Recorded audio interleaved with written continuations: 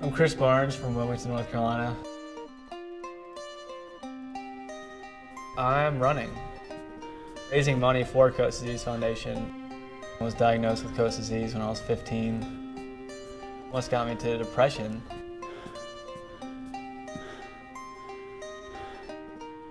You think you can't do it. You can't change it. You have a chance to take the low road and say, oh, you know, like I'm not gonna be able to do anything. Your mind is telling you to stop. You get to that point and you're like, before it was normal, now you have Coats disease. I'm, I'm done.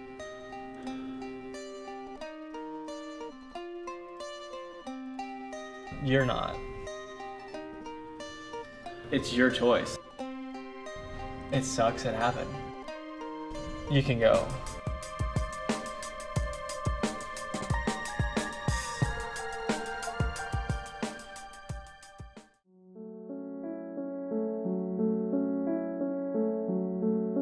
Coats disease has been a huge part of my life, you know, for the past 14 years.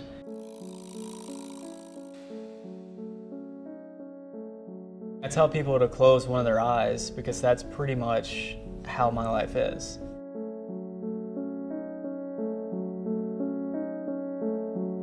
And they look at it and they're like, how do you do it? Running is my happy place. It's a place that I can go and not have to worry about anything.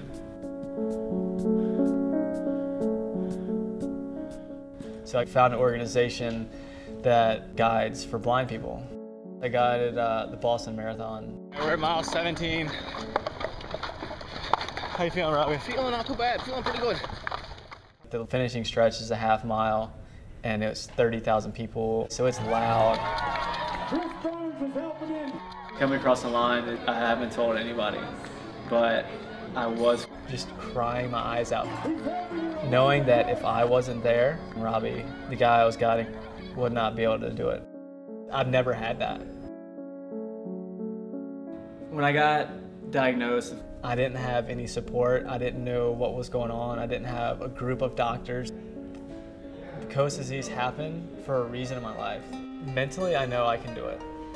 Physically, I know I can do it. So I want to help people that mentally or physically can't do it. I'm going through the pain and suffering, so hopefully that other people don't have to go through pain and suffering themselves. I'm running. So hopefully that nobody has to go through what I went through.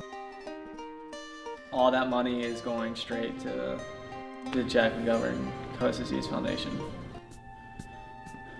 That's the ultimate goal.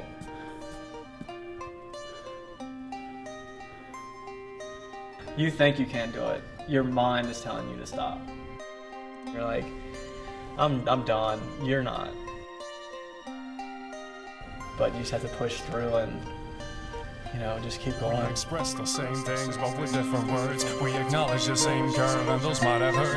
It's like the last line you draw to remind a past time. A fast minded feeling of freedom, please you be recognized. And I can hear your doctors calling from here to say. Kill bias, and I'll kill. Cause the young himself is stealthy mass appeal.